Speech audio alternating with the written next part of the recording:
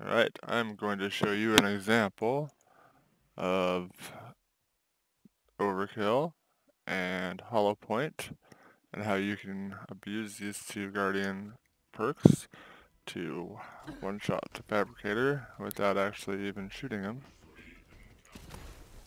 First off, we just we're getting rid of these guys at the same time we're building up a little bit of overkill. It's not really that necessary.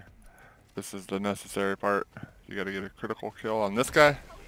And as you see, I did lots of millions to Fabricator and to everything around the guy that I got the critical kill on. And that's because of Hollowpoint, which is affected by all your bonuses, your splash boost, your weapon damage, all that shit. And it's uh, based on overkill damage as well. So there you go.